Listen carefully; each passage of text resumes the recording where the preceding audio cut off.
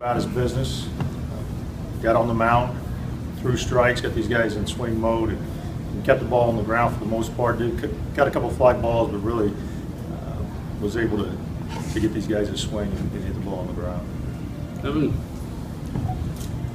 Jeff, can you kind of take us through your, your thought process on when Perez had, when, when you felt Perez had reached the threshold and, and how you were managing the bullpen there? Yeah, well, I mean, I just talked about how, you know, the efficiency of how he pitched.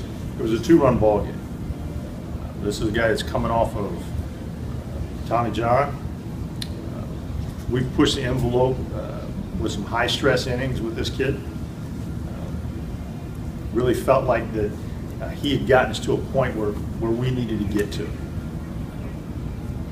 Made a, a change-up pitch to, to Pagan there that left up. We have, we have men out in that, that bullpen that, uh, it's their job to come in and get outs.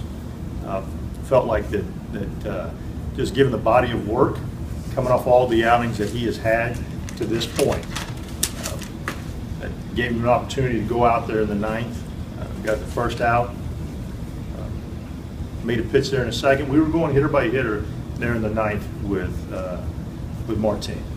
Uh, Situation where uh, he had done a- just a terrific job for us. Um, Want him to be able to come off the field uh, so that going forward, uh, that he can, something that he can build on, continue to move forward. Uh, Felt like that, you know, it was time to go to our bullpen, turn it over to those guys, let them do what they're here to do.